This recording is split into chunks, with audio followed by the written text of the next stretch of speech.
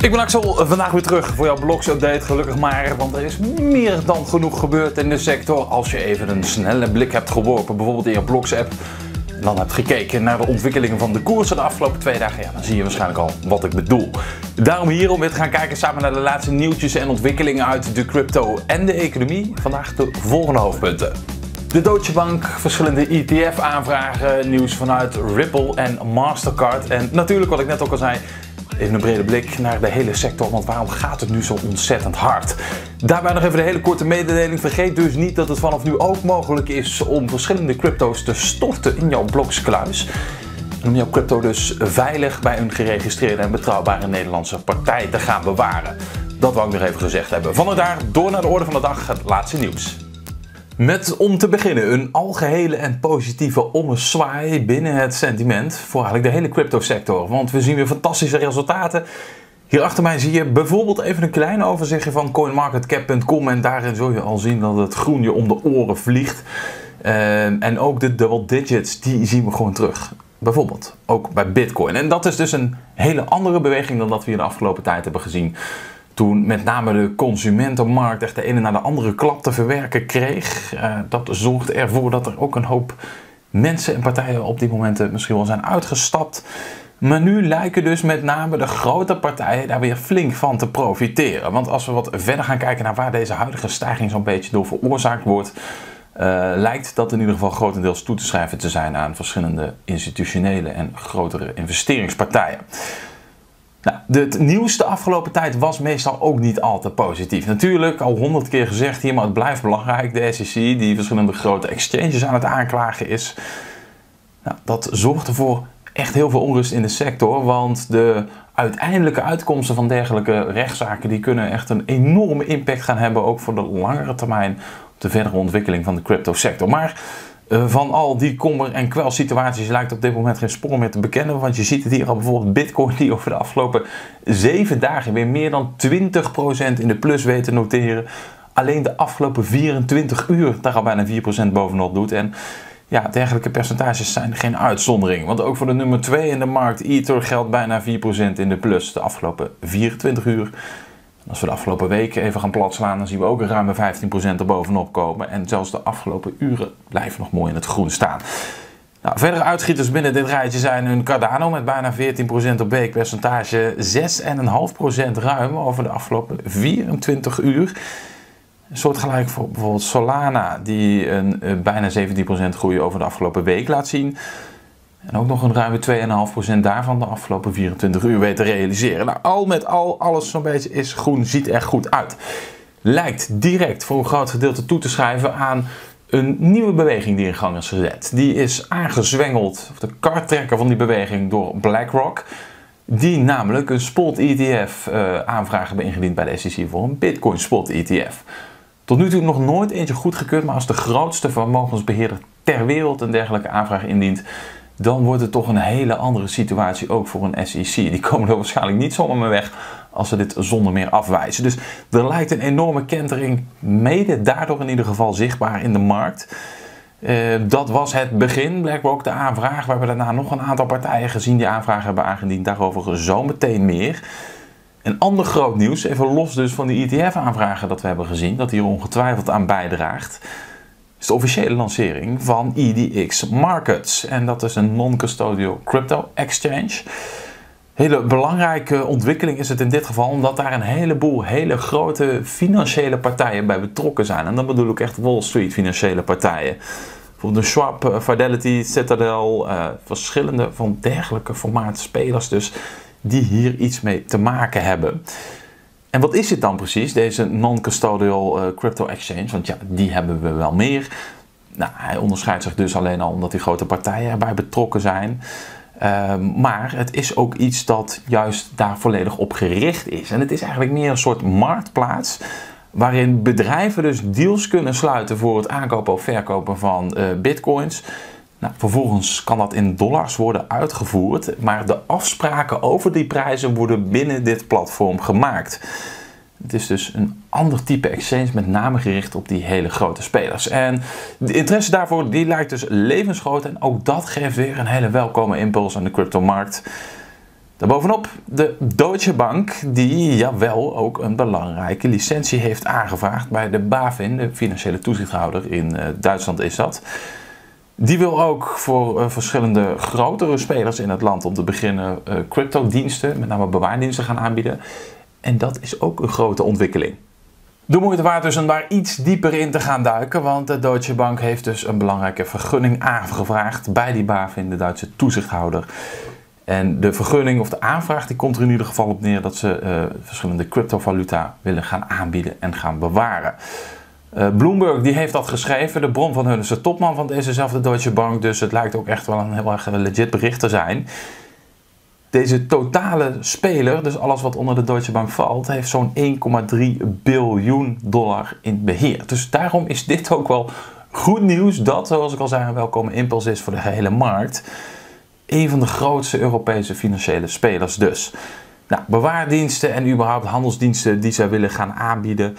Um, en waarom zou een partij als deze dat willen doen? Nou, ze laten ook weten dat ze daar een belangrijk verdienmodel in zien. Oftewel, de markt is inmiddels zodanig groot en volwassen.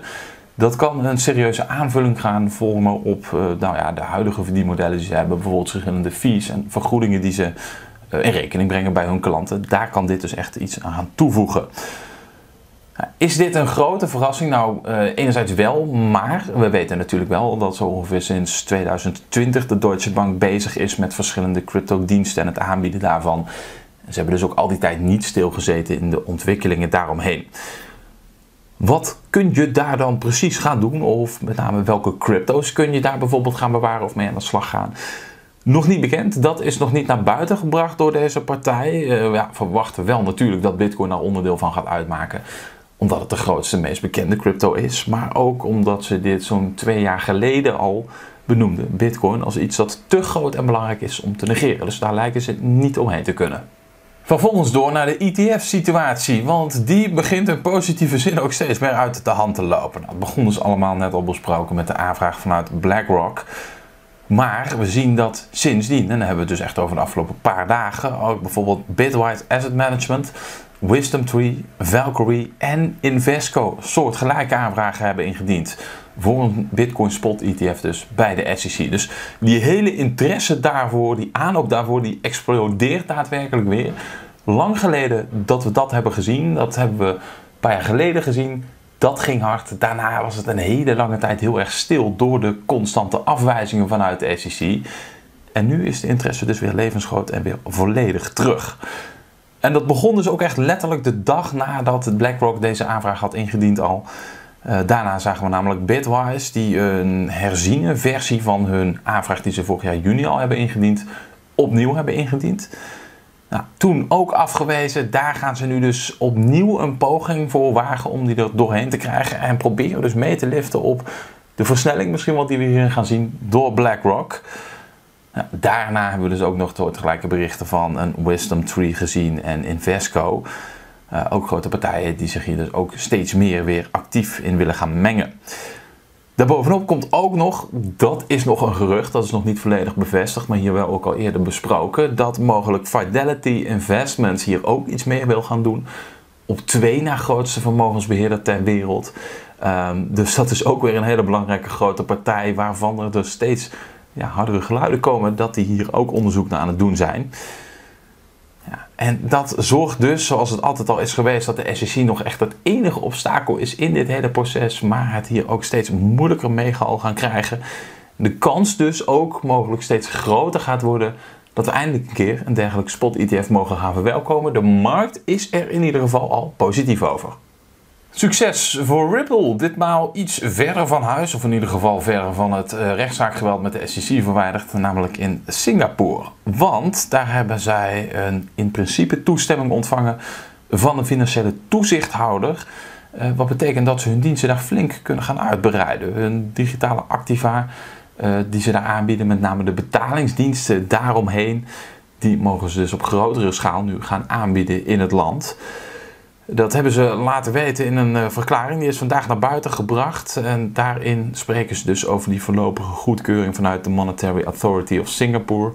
Dat is de belangrijkste partij die hier uiteindelijk het laatste woord ook over heeft. Dit betekent, even heel specifiek bekeken in dit geval, dan dat Ripple Markets Asia Pacific, dat is een dochteronderneming van Ripple, daarvoor dus de goedkeuring gaat krijgen.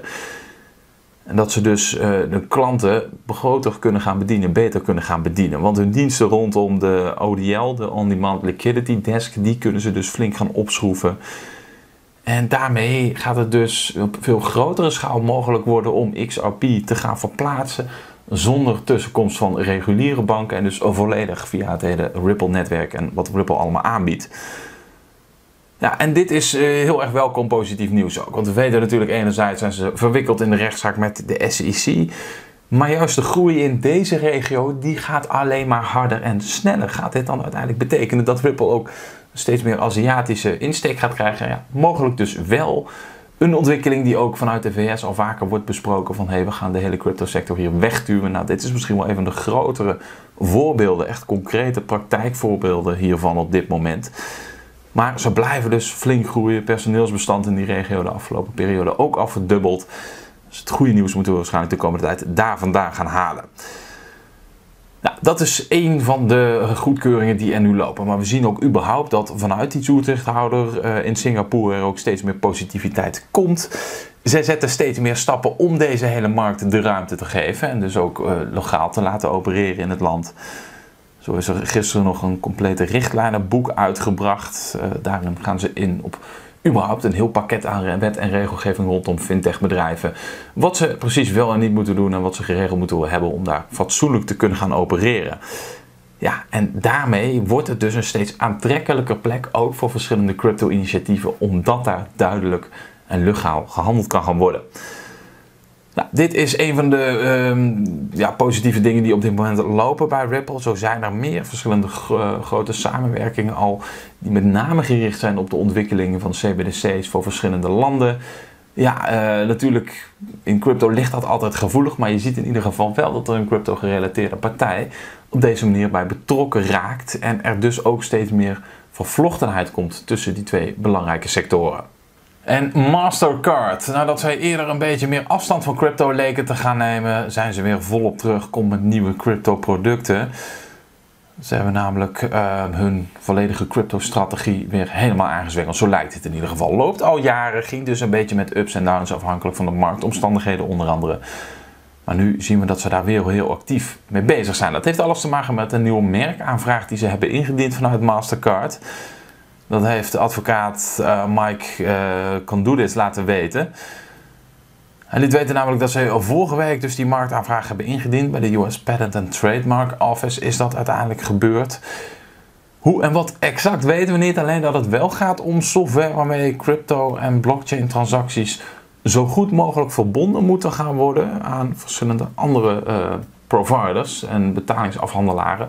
Om dat echt allemaal naadloos samen te laten werken. Dus belangrijke stap natuurlijk, omdat we het hebben over een partij als Mastercard, als die daar actief mee bezig zijn en al op deze manier aanvragen gaan indienen, gaat daar natuurlijk iets gebeuren. Nou, verdere details, dat moeten we dus nog even afwachten. Want uh, hoe en wat precies, welke andere partijen of aanknopingspunten daaraan verbonden zijn, dat hebben ze nog niet naar buiten gebracht. Maar het is dus wel weer een positieve richting in de hele crypto-strategie van het bedrijf. Want begin dit jaar nog, dat was eind februari ongeveer, toen zagen we dat Mastercard, niet alleen Mastercard, ook Visa, wat rustiger aan gingen doen met hun crypto-aspiraties. Die hadden al grote hoeveelheden samenwerkingen lopen met crypto-partijen en daar werd flink op afgeschaald. Toen gaven ze de marktomstandigheden in de eerste plaats, maar daarnaast ook de onduidelijkheid dus. Daar is hier weer de regelgeving rondom crypto de schuld. Maar nu lijken ze daar wat minder bang voor. De markt trekt mogelijk weer wat aan in bepaalde opzichten. En daarom lijken ze hier zich weer volledig op te gaan focussen. En met dit allemaal op één hoop gegooid gebeurt er iets erg bijzonders deze hele week. In ieder geval als we gaan kijken naar de koersen. Koersen op tradingview.com. Want ja, daar is hij dan. Het graviekoverzicht met daarop de weekcandles. En dan kijken we naar de Amerikaanse dollarwaarde van bitcoin. Gegevens bij Bitstamp vandaan. En na heel veel ellende en weinig positieve bewegingen de afgelopen tijd gebeurt dan dit. Dit is de weekcandle tot zover. Dat betekent een plus van bijna 15% op weekniveau. Daarmee gebeurt ook dit volgende belangrijke. Die 200 weeks moving average die we hier dus echt verloren twee weken terug. hier ook afgelopen week niet bovenuit wisten te komen, of in ieder geval niet boven wisten te closen, die lijkt nu nooit bestaan te hebben, die hele resistance lijn. Want kijk eens wat hier gebeurt. We knallen daar doorheen vanuit de onderkant hier. Ja, en dan gaat het heel erg hard. Daarmee komen we zelfs weer terug in die zone rondom de 30.000 dollar komen we zelfs terug boven de 30.000 dollar. Want Bitcoin handelt op dit moment op zo'n 30.300 dollar. Dus hier wordt het bijna het onmogelijke klaargespeeld. Zoveel resistances, belangrijke lijnen waar we onder zaten, wat mogelijk in de hand had kunnen gaan werken. Dat we die 25k eventjes nog zouden gaan verliezen. Nou, worden overboord gegooid en we zijn in één keer weer helemaal terug bij af. En dan vergis je niet, zijn we dus ook weer in de handelsniveaus waar dat we hier begin april voor het laatst hebben gezeten. Daar zijn we nu weer terug tot zover in ieder geval. De week is natuurlijk niet voorbij. Maar in deze ene week, als we de dagcandles erbij gaan pakken, dan wordt het misschien wel nog mooier. Dan zie je ook dat het nadat we hier dus op dit hele gevaarlijke gebied terechtkomen, dat is namelijk die 25.000 dollar lijn, maar dat we zelfs even onderuit komen, toch weer weten te herpakken en terug weten te komen. Maar dan wordt het hier spannend rondom deze resistance slash oude support, dat we hier niet zomaar doorheen weten te komen. Op het moment dat dat lukt, dan gaat het twee op één volgende dagen extreem hard, want we weten hier twee dagen terug 5,5% op dagniveau in de plus te noteren en ook gisteren bijna 6% op dagniveau in de plus. Nou, vandaag zetten we dat nog een klein beetje door. Je ziet hier wel al dat we nog wat doorgeschoten zijn gisteren ook. Met die wick naar boven toe naar een hoogtepunt zelfs van 30.755 dollar. Dat weten we vandaag tot nu toe niet te evenaren, want het hoogtepunt ligt nu op 30.505 dollar. Allemaal niet erg, want zoals ik al zei, veel belangrijke lijnen die we hier al mee hebben weten te doorbreken. En zelfs het terugkomen in die zone rondom de 30k, dat is wel het allergrootste cadeautje tot nu toe. Als we die even door gaan trekken, dan zie je dat we daar in één klap ook weer van zo'n beetje op de helft aan het handelen zijn. En dus na het doorbreken van al die resistances weer in dit gebied terechtkomen. We hebben het dus over de periode begin tot half april, dat we ook rondom dit gebied gehandeld hebben, voor het laatst dus. De laatste keer daarvoor was hier in juni 2022. Jaar geleden dus, dat we daar uh, deze piek van afgezien in ieder geval voor het laatst hebben gehandeld. Toen was dat de teleurgang van de koers die zich hier nog heel even ja, vast wist te houden aan dit belangrijke gebied, aan deze belangrijke zone, voordat we nog veel verder naar beneden vielen. En dat belangrijke gebied is dus precies waar dat we nu weer in terug zijn. Mogelijk dus ook een stevige support kunnen gaan ervaren. Zolang we hier maar bovenuit kunnen breken en dit kunnen bevestigen. Het lijkt er nu wel aardig op. Dat we ook in één keer nog een stap verder kunnen gaan tot aan die 31, mogelijk 32 de bovenkant van dit gebied. Dat wordt een volgend groot vraagstuk. Je ziet het hier al een beetje afbuigen en ook hier was dit een lastig punt. Nu zijn er in de markt toch een aantal nieuwe omstandigheden die extra positief lijken. Stel straks, denk maar even hardop, een goedkeuring van een Bitcoin Spot ETF. Ja, dan zal dit geen probleem worden om hier weer doorheen te gaan breken. Maar dat valt dus nog maar te bezien. Dat was hem weer. Je bent weer compleet up-to-date. Morgen gaan we er een klein schepje bovenop doen. Want ook dan gaan we weer kijken naar de laatste nieuwtjes en ontwikkelingen van de laatste jaar. Deze week in ieder geval. Die week daarop natuurlijk ook weer iedere werkdag terug voor jullie hier op het YouTube kanaal van Blogs. Voordat het zover is, ga eerst nog even ontzettend genieten van vanavond. Spreek ik je heel graag morgen weer hier. Dus tot dan. Doeg!